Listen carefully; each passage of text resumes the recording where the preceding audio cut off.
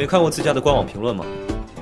画风模仿原作，却没学到精髓，一对比就是灾难现场，脑残没逻辑，蹭了吸血鬼猎人的热度，还能铺的没有一点水花。请给作者批发刀片吧。哎，青青，正好你在，过来。顾总刚说的这些，你都听到了吧？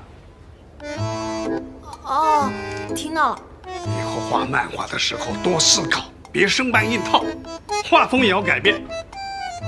顾总，你说是不是？好好创作，少点浮躁。听到没有？太浮躁！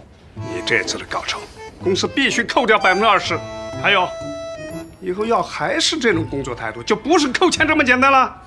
凭什么扣我工钱？我明明都是按照要求画的。顾总说你没达到要求，就是没达到啊。刘总，今天就先到这儿吧。哎，顾总，别那么着急嘛，我订了包间，晚上。咱们边吃边聊，不用了，我还有事儿。哎，顾总，哎，我说了不用。喂，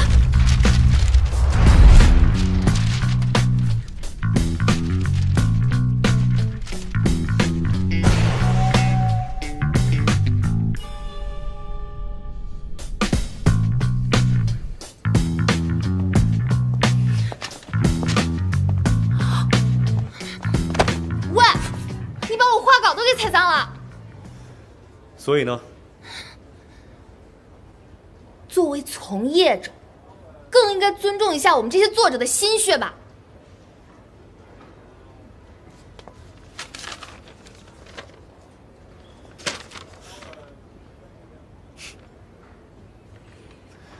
天堂街十九号，作家秦文君二零零一年的作品叫做《天堂街三号》，改了个名字，改了个门牌。就敢自称是自己的心血？我这天堂街的根本不用解释，我不想在这种没有价值的东西上浪费时间。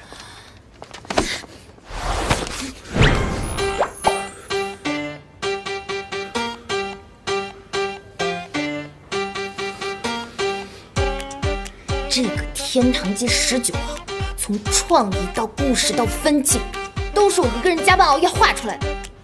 没有抄袭，没有借鉴，没有蹭热点，你必须要对我还有我的作品道歉。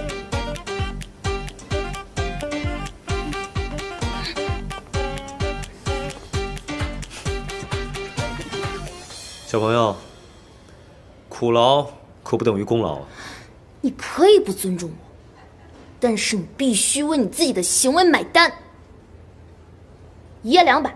你踩坏了我三张画稿，外加精神损失费、误工费，我给你算一千，赔了我就不跟你计较。我为什么要听你的？损坏他人物品要按损失发生时的市场价予以赔偿，要不然我分分钟告你侵犯物权。一句话，赔还是不赔？